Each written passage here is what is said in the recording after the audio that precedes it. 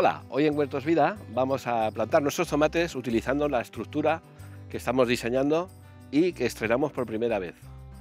Y vamos a empezar a plantar el tomate donde tenemos ya preparado nuestro tubo de agua de, goteo, que como se puede observar va pegadico a la valla.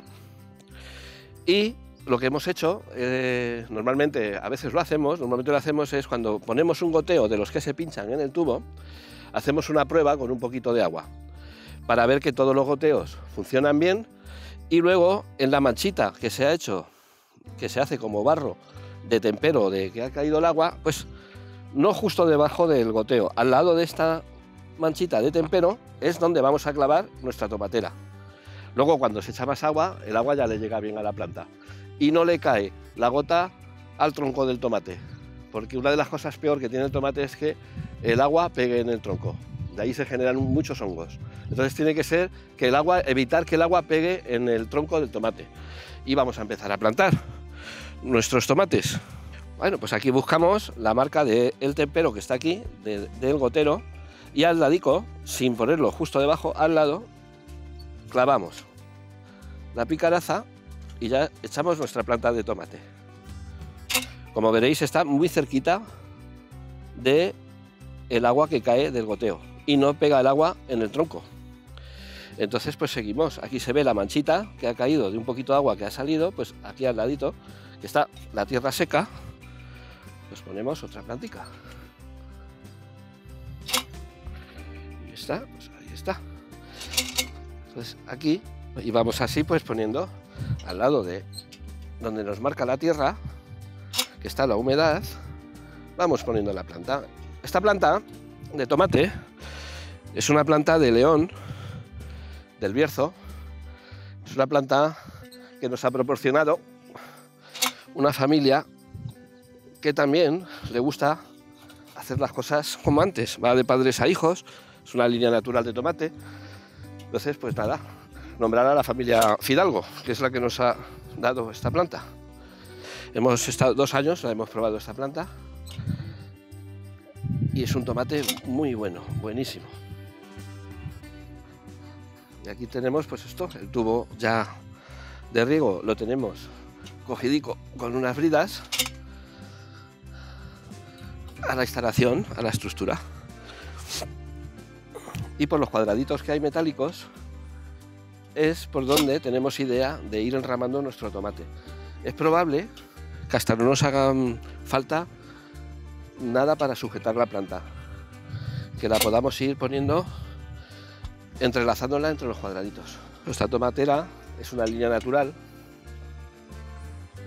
donde el año pasado ya sacamos la semilla, elegimos los tomates que más nos gustaron y de ahí sacamos la semilla. Y este año pues haremos lo mismo, elegiremos los tomates, sobre todo de la primera florada, y elegimos pues por el color, el tamaño, el gusto, la planta que esté sana, y genéticamente vamos eligiendo y mejorando la variedad. ¿Vale? Y ya ponemos nuestra última plantita de tomate.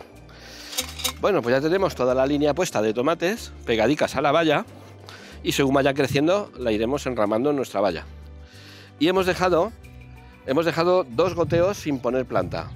Hemos dejado uno en aquella punta de allá y otro aquí. Y estos dos goteos son porque vamos a poner una planta que nos sirve como una trampa, es una planta que hace de trampa cromática. ¿Qué es una trampa cromática? Es una trampa que atrapa a los insectos por el color. En este caso lo que vamos a usar es una planta que la vamos a poner en las dos puntas y por su color atrae a los insectos y tiene una propiedad, que sus hojas se, tienen como una resina donde se quedan pegados. Entonces es una trampa cromática natural.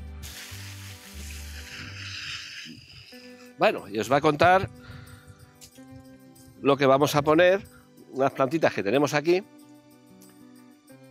que son las que vamos a poner como trampas en nuestras líneas de tomates. Se pueden usar en cualquier otro cultivo que pongamos. Nosotros ahora lo vamos a usar en el tomate.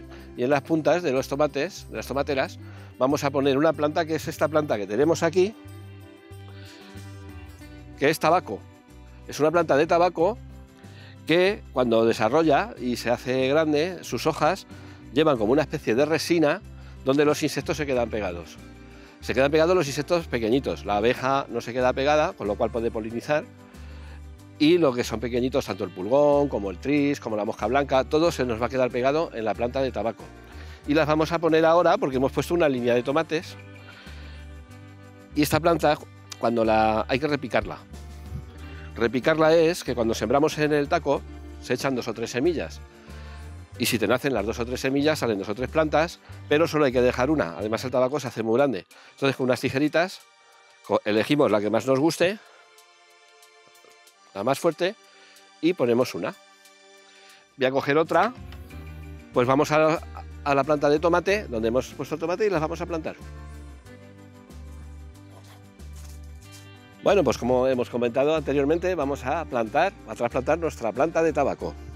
Aquí tenemos nuestro goteo, hacemos con la mano, porque está la planta un poco pequeñita, y lo haremos a mano. Bueno, pues aquí está ya nuestra planta de tabaco, y en la otra punta pondremos la otra planta. Y aquí ponemos nuestra segunda planta de tabaco. Hacemos con la mano un agujerito y un poquito de tierra y ahora ya solo nos queda conectar el riego y a regar.